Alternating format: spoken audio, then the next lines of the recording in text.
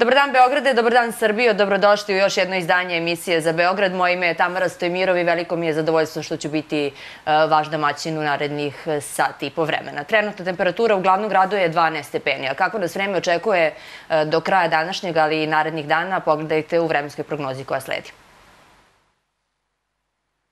U Srbiji u sredu, jutro vedro i hladno ponigde sa maglom i sa slabim prizemnim mrazom, dok se na jugu i u pojedinim kotlinama slab mraz očekuje i na 2 metra nadmorske visine. Tokom dana biće sunčano i toplije, duveće slab do umeren severozapadni vetar. Minimalna temperatura od 0 do 6, a maksimalna dnevna od 17 do 23 stepena. U Beogradu, nakon vedrog i svežeg jutra u delovima grada sa maglom, tokom dana sunčano i toplije. Duveće slab do umeren severozapadni vetar. Minimalna temperatura 5, maksimalna dnevna 21 stepen. Narednih dana biće pretežno sunčano i relativno toplo za ovo doba godine. Samo se u četvrtak očekuje prolazno i umjereno na oblačenje, tek ponegde ređa pojava kratkotrene kiše. U petak i subotu u Košarskom području duveće umeren do pojačan jugoistočni vetar, na jugu Banata i u Podunavlju povremeno i jak.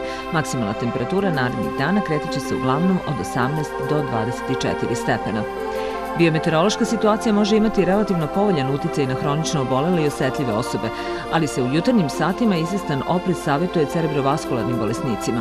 Poremećaj sna i glavobolje su moguće meteoropatske reakcije. Preporučuje se umjerena fizička aktivnost kao i slojevito odevanje u skladu sa očekivanom minimalnom i maksimalnom dnevnom temperaturom vazduha.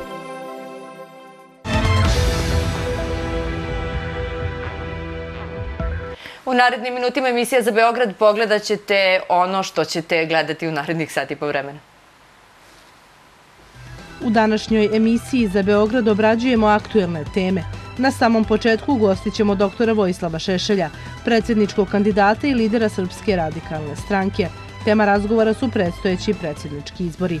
Pridružit će nam se i Aleksandar Dunić glumaca povod gostovanja i učerašnje obeležavanje Svetskog dana pozorišta. Odmah nakon vesti razgovaramo sa Vesnom Stanević, direktorkom Savjetovališta protiv nasilja u porodici, a za sam kraj ugostit ćemo i Arnauda Humberta, glumca sa kojim najavljujemo zanimljive predstave u Akademiji 28. Dovoljno razloga da ostanete uz nas. Počinjemo. Dobrodošli.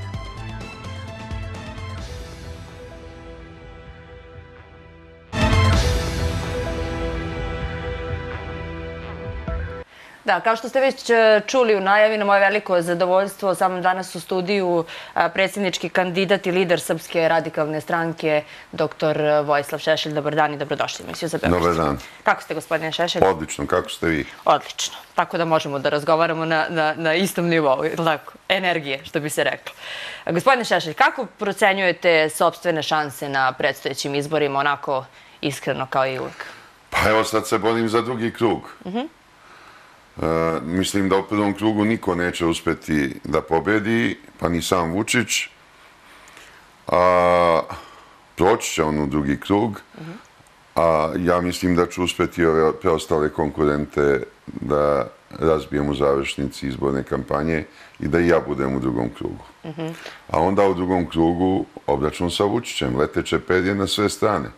Ja mislim da on neće moći da izbegne direktni televizijski duel, a ja taj dule čekam već pune dve i po godine. Šta mislite, zašto ne želi da stane i da se susretne sa vama pred toliko pa To treba njega pitati, ali za 27 godina sam imao ogroman broj tih duela i uvek sam pobeđivao. Mhm.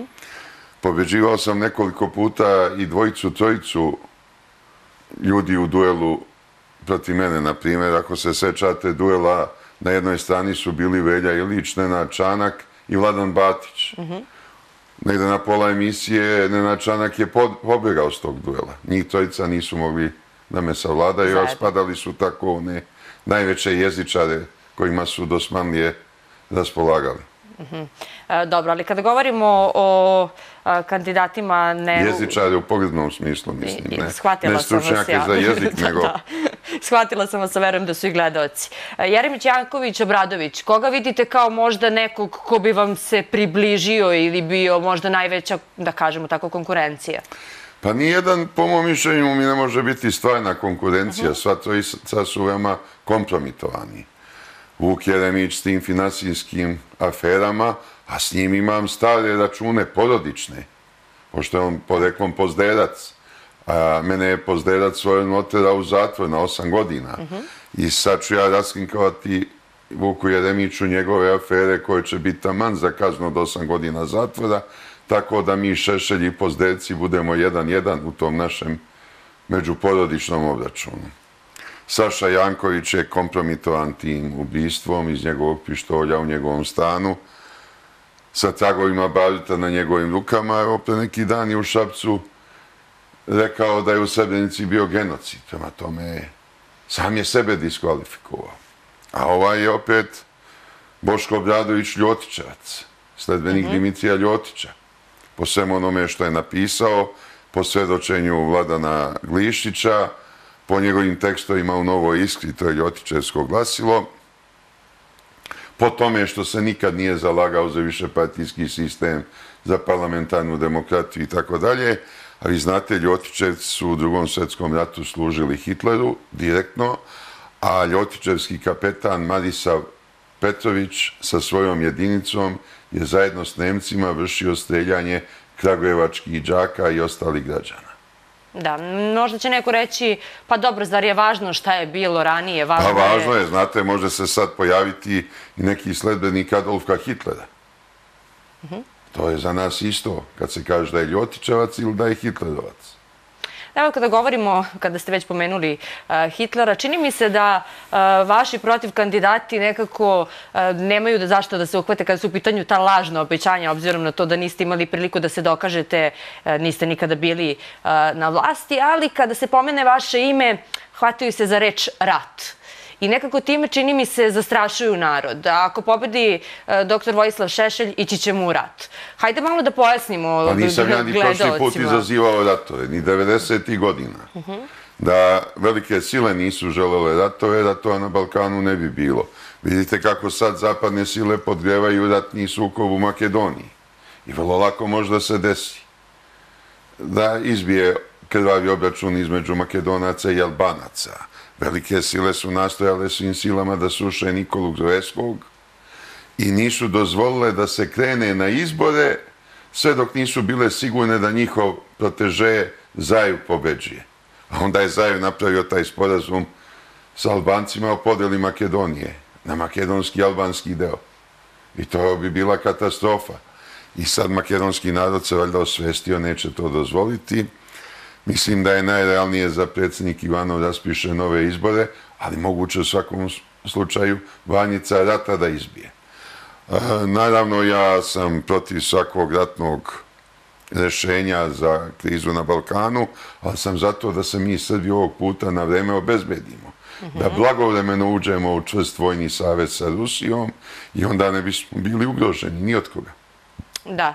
E, evo, gledala sam nedavno jedan intervju, pa apropo tih e, obećanja, jer to je nešto što ljude možda i najviše pogađa kada neka obećanja nisu ispunjena. E, negdje uzimaju vam i traže možda neki razlog da bude da niste ispunili neko obećanje. Pa je to bilo pitanje zašto niste otišli u rodno Sarajevo? Pa otiću. Hoćete otići? Otiću, ali imam neke prioritete. Svakako. Da. Kada već govorimo... Prioritet je bio da doprinesem da se opodavi Srpska radikalna stranka koja je zaista bila u veoma teškom stanju. Pa da povratimo parlamentarni status. Pa evo došli predsjednički izbori. I tako ide to svojim tokom. Jeste li mislili pre par godina uh, da će uopšte doći do ovakvog političkog, do ovakve političke situacije, da ćete se kandidovati za predsjednika? Pa da li vam je to izgledalo realno u nekom... Ja sam bio spreman da poginem u Hagu. Mhm. Dakle, ja u to vreme nisam razmišljao o izlasku. Niti sam moljakao da me puste, niti sam tražio. Kad mi je majka umrla, ja nisam hteo da se ponizim, da tražim da me puste na tri dana kući. Oni bi sigurno to učinili da demonstriraju kako su oni ipak humani.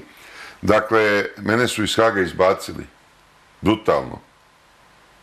A ja nisam tražio. Ja sam hteo da se s njima obračunam do kraja i uspeo sam. Moja presuda prvostepena je vrhunac tog obračuna. I sad oni mene više ne interesuju, ja sam se okrenuo drugim poslovima. Da, a kako mislite da sa ingerencijama koje ima predsjednik jedne države funkcionišete sa premijerom Aleksandrom Vučićem? Da li je to moguće? Što se mene tiče, to bi moglo da bude realno i moglo bi korektno da funkcioniše.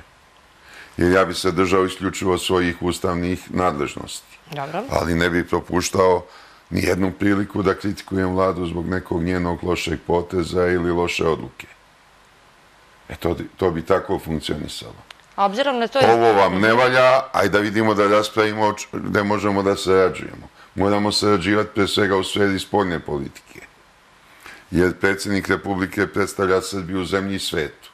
Ne bi ja išao kao Tomislav Nikolić kao muva bez glave, da putujem po svetu, da mi noge vide puta i vodio suprugu i kad to protokol ne zahteva, pa čak još i taštu sa diplomatskim pasošem, nego bi uvek išao u neku zaničnu posetu kad sa vladom usaglasim okvire te posete. Dakle, šta je cilj? Šta treba da se postune? Pa onda idem da pregovaram. Bez toga ne vredi putovati. A što se tiče unutrašnje scene, ja sam spreman da Narodnoj skupštini vraćam na glasanje, na ponovno glasanje, sve zakone za koje smatram da nisu dobri. Naravno, ja bi obrazložio svoje mišljenje, svoju odluku i obavestio svaki put javnost. Da, obzirom na to da su ljudi navikli da predsjednik nema neka specijalna ovlašćenja pa da državom faktički upravlja premijer. Iz tog razloga sam vas pitala kako će ljudima, građanima, kako će biti bolje. Odgovorili ste. Pa bit će bolje u toliko što će biti neka kontrolna funkcija vlasti nad Vučićevom vladom, nad Narodnom skupštinom i delimično nad sudskom vlašću. To može biti uloga predsjednika Republike. Jer do sada Vučić nikakvog kontrolora nije imao iznad sebe. Tadić je također držao svu vlast u svojim rukama. Imali smo taj slučaj da nije kod Miloševića dok nije s nama stupio u koaliciju. Dakle, postoji jedna težnja kod različitih vlastodržaca da imaju sve u svojim rukama. A to nije zdravo ni za državu, ni za njih. Nije dobro. I kad bi bila najbolja vlast na svetu, morala bi imati nekoga iznad sebe ko bi stalno kljucao, govorio to ne valja, to ne valja, nemojte tako i slično. Da, to ćete uraditi ukoliko se dogodi taj scenario. To ću svakako raditi, jer Vučić sada ima dvotrećinsku većinu u Narodnoj skupštini i zapravo sve poluge vlasti u svojim rukama. Samo mu ova još fali. Ja mislim da narod to treba da razume i da mu ne dozvoli da baš ima apsolutno sve. Da. Da ima nekoga ko će ga kljucati. Gospodine Šešelj, evo da pričamo i o nekim lepim stvarima. Dok... Pa i ovo je dosta sve bilo lepo. Pa, je bilo lepo? Pa da. Dobro, drago mi je da je tako, ali postoji i neke lepše stvari, mislim na knjige. Evo, nedavno ste podelili koliko? Danas je to bilo. Danas, da.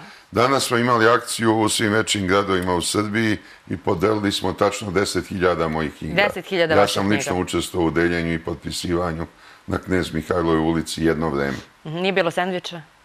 Nije bilo sandviča. Zašto, gospodine bez sandviča. Aha. Jer kad čovjek pretrpa stomak sandvičom, onda mu nije do čitanja knjiga. Da, dobro, pravo ste, lepo, lepo, lepo zborite. A, posjetili ste patrijarha Irineja i čini mi se da je i to nekako u medijima malo bilo zlopotrebljeno. Da li je moguće da se i takve stvari zlopotrebljavaju? Ja apsolutno nikad nisam imao namenu da zlopotrebljavam velikodostojnike Srpske pravoslavne crkve. Sa njegovom svetošću, patrijarhom Irinejom, sam razgovarao o pitanjima koja se ne tiču izbora. A o čemu sam razgovarao, naravno, neću ni da iznosim u javnost. Bila su neka aktualna društvena pitanja, ali ne po pitanju izbora. Meni je krajnje jasno da crkva ne treba da se meša u izborni proces i da mi svi pravoslavni Srbi koji učestvuju u politici treba u svakom trenutku da poštujemo svoju crkvu kao što i oni koji su muslimani i oni koji su rimokatolici, mhm. protestanti, treba da poštuju svoju veru i svoje verske institucije. Dakle, to ne treba mešati u politiku. Ako mešamo crkvu u politiku, onda je to loše i po crkvu, i po narod, i po državu. A pogotovo crkva ne sme biti instrumentalizovana od strane političara. Sasvim je slučajno što se naš sused desio kad je krenula ova predizbojna kampanja, ugovoren je bio pre nego što su izbori mhm. raspisani. Da, namjerno vas pitam te neke stvari, obzirom na to naslovi koji su mi privukli pažnju, pa eto da razjasnimo građanima prosto nešto što im, što im nije jasno. Žene su mi rekle da vas ovo pitam. Zorana Mihajlović izjavila je da žene u Srbiji, ukoliko vi dođete na vlast, mogu da budu samo kuvarice. Ona sudi po sebi. Mhm. Ja nju kritikujem kao ličnost kao nesposobnog ministra, kao amoralnog čoveka. Znate, ona je kao ministar u Njujorku kupovala u tim ekskluzivnim radnjama donji veš čak sa državnom karticom. Ona kao ministar ima karticu za plaćanje u inostranstvu i tu može plaćati samo za one potrebe koje se tiču putnog naloga. Ona je sebi donji veš kupovala za Otkud vi to. to znate, gospodine Pa Šešelj? izneseni podaci u javnosti, ja je kritiku u Narodnoj skupštini, Vučić je onda rekao da je ona taj novac vratila i ona je tvrdila, jeste ona novac vratila kad je afera izbila. A vidite kakvo je to osinovno ponašanje. I umjesto da odmah podnese ostavku ili da je Vučić natera na ostavku, ona i dalje je ministar. I sad ako se ona napadne javno, onda sam ja protiv žena. Ali evo postoje ministarke u vladi koje nikad nisam napao.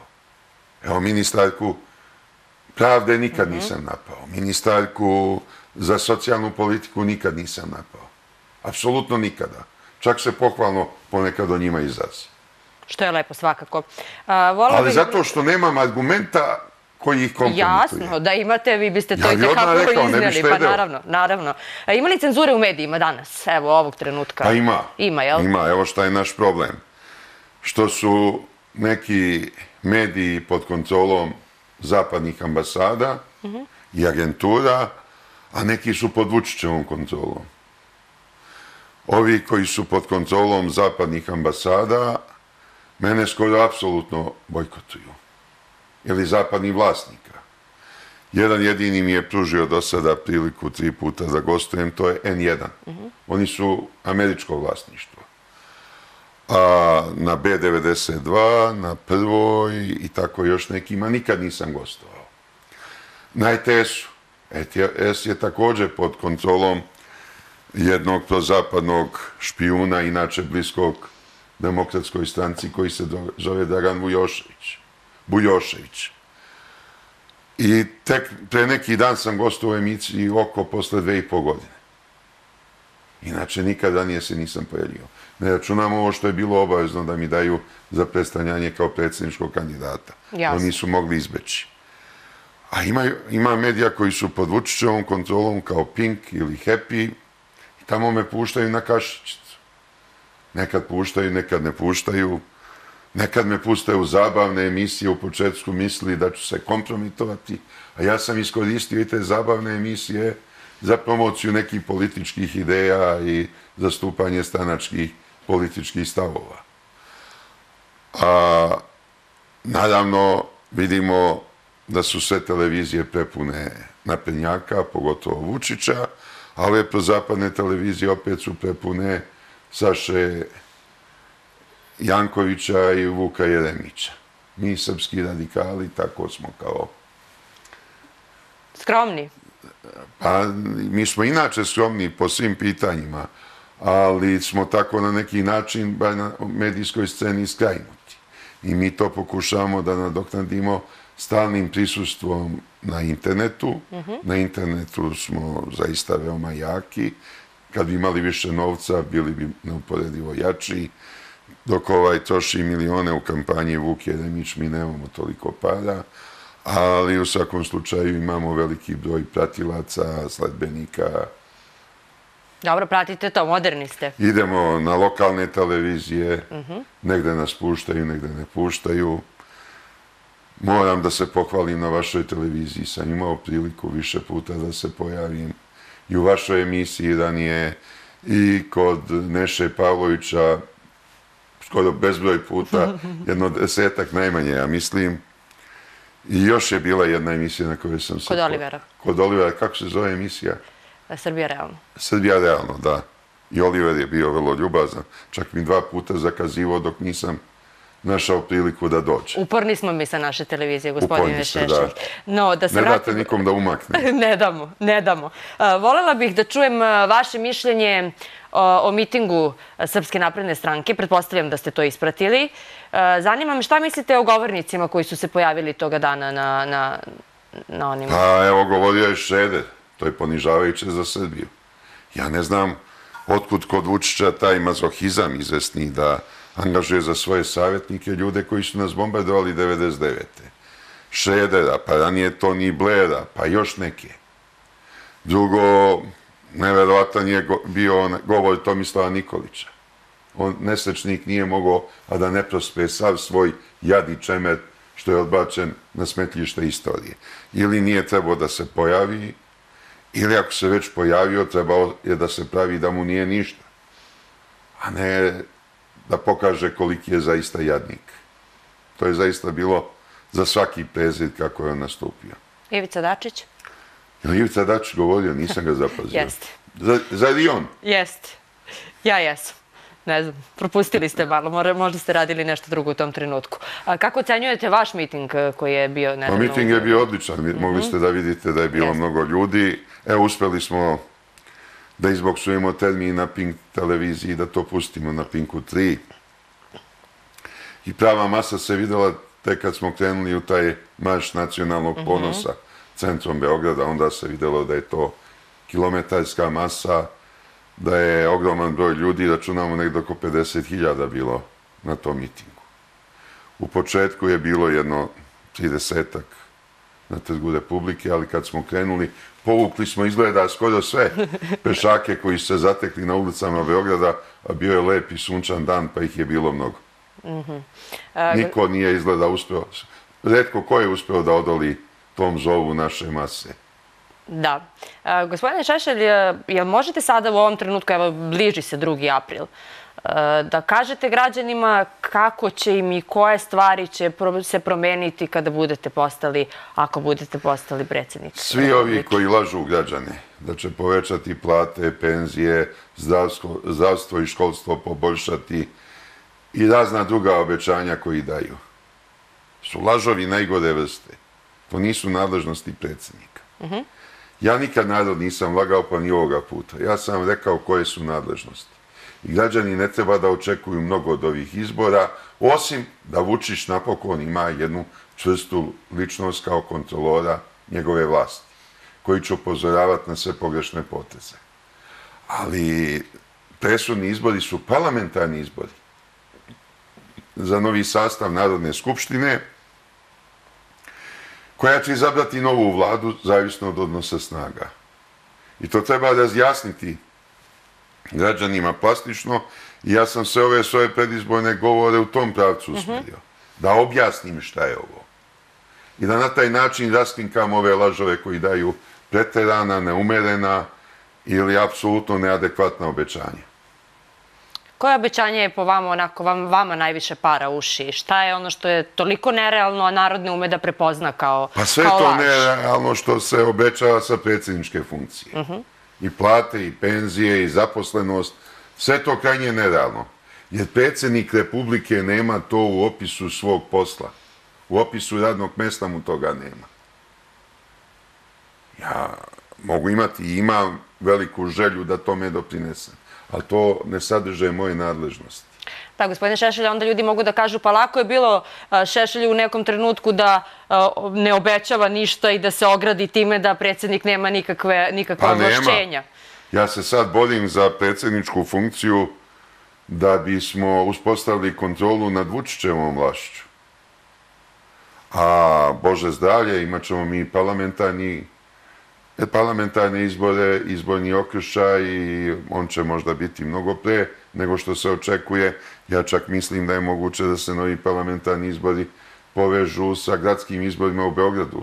Dakle, pre kraja februara sljedeće godine, čak je moguće pre nove godine da budu. E tad se odlučuje ko će vladati i na koji će način rešavati i ekonomske, i socijalne, i kulturne, i prosvetne, i zdravstvene probleme. Dakle, građani da znaju da, je, da su ti izbori možda a, važniji u neku ruku Oni za su njih. sigurno važniji. Za njih, je li tako? Oni su sigurno važniji od predsjedničkih. Parlamentarni izbori su neuporedivo važniji od predsjedničkih.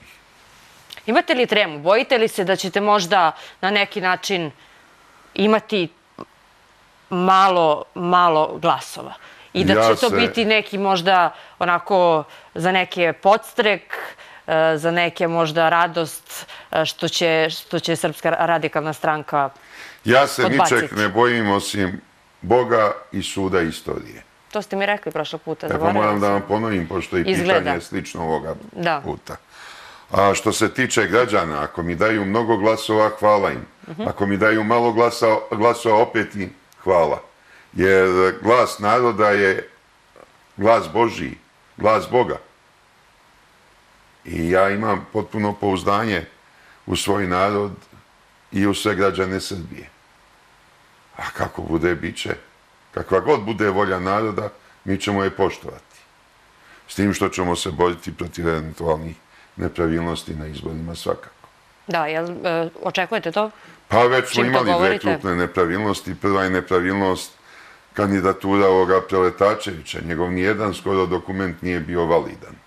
I samo su predstavnici Srpske radikalne stranke u Republičkoj izbornoj komisiji glasali protiv da mu se prihvati kandidatura, protiv prihvatanja kandidature. Svi ostali su glasali za jer su imali svoje neke lične računice. Opozicijone stranke u pogrešnoj nekoj proceni da on garantuje svojim učešćem da Vučić ne može pobediti u prvom krugu. A Vučić opet znajući da ne može da pobedi u prvom krugu, podržao je da i Preletačević bude da bi on pomalo ovim drugim opozicionarima uzeo glasova. Pretpostavljam da meni ne može da uzme, da je naše glasačko telo dovoljno svesno da se njime ne može manipulisati. E, Druga nepravilnost je oko izbora na Kosovo i Metohiji. Mi tamo nemamo nikakvu kontrolu. Srpska radikalna stranka je uspela da se izbori da ima svoje kontrolore otprilike na polovini biračkih mjesta, članove ovih biračkih odbora. Ali kakva nam korist kad OEBS naveče pakuje kutije s neprobrojanim glasovima, glasovi se ne broje pre pakovanja i vozi u Rašku ili u Vranje. I tamo su 12 sati te kutije bez ikakvog nadzora. Kažu čuvače i policija. A, Kakvo je to čuvanje? Glasovi moraju odmah da se prebroje, da bi bili validni. Mi onda nećemo priznati ako nismo učestvovali u njihovom brojanju. Ne brojanju posle 12 sati kad je svako mogao da menja kutije i interveniše. Dobro, zna se kada se broje glasovi, Jeste. jel tako? Braju- Odmah. glasovi se broje čim se zatvore biračka mesta. Da. A Na koji način e, ćete reagovati u takvim situacijama, a pretpostavljamo da će ih biti, kad god su izbori uvek Pa se mi ćemo dešavaju... upisivati naše primjedbe, naši su kontrolori dobili Takve instrukcije. Nažalost, na prošlim parlamentarnim izborima mi smo kontrolorima uspjeli da pokrijemo samo 85% biračkih mjesta. Sad ćemo imati veći procenat pokrivenosti, ali još ne možemo 100% da imamo. Problem su one sredine gde e, su nacionalne manjine u apsolutnoj većini ili čak skoro, ima, skoro da ih ima preko 90% u sastavu stanovništva. I onda ne možemo na svim biračkim mestama. Imamo mi u članstvu dosta i pripadnika nacionalnih manjina, poput Mađara, Slovaka, Bugara i mnogih drugih, ali postoje sredine gde baš ne možemo svako biračko mesto da pokrijemo, kao što su Ada, Senta, Bačka, Bačka Topola, ne možemo u Bosilegradu, na primjer, da sve pokrijemo. Ne možemo u Crnoj Travi iz jednostavnog razloga što su i sve ranije prikupili naprednjaci. Kako ranije prikupili? Pa jednostavno su im potpisali ili siguran glas ili kandidaturu i tako dalje. Odakle vama te informacije? Pa imam informacije sa terena. Naš odbor tamo jednostavno ne može da nađe dovoljno kontrolora za sva biračka mjesta, a da budu naši članovi. A, gosp- A Crna Trava ima formalno dve, oko 2000 stanovnika, ali mnogo manje ih živi tokom cele godine tamo.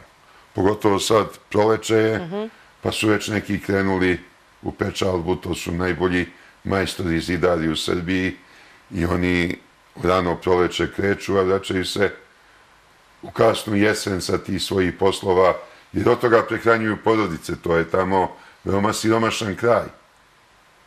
Nema uslova za preživljavanje ako se ne bavi i dalje ovim poslom. A najbolji su zidari na svetu, mora mi se priznati. Dobro, da, da ih pozdravimo ovom prilikom, bar ako, ako ne može ništa drugo. Ako ih nismo mogli pridobiti Da, za da. Srpsku radikalnu stanku, da ih pozdravimo. Da, i pohvalili ste ih, boga mi, baš e, onako lepo. A, pratim vas na Instagramu kao što pratim e, i ostale političare i čini mi, se da, čini mi se da ste lepo jako prihvaćeni e, gde god da ste se pojavili, da je bilo mnogo ljudi, da je bilo mnogo omladine. Primetila sam dosta mladih ljudi oko vas i ne samo oko, pošto to može biti onako za slikanje vrlo lepo, a kada e, je real, a realnost drugačija. Međutim, i među tom masom bilo je mladih ljudi.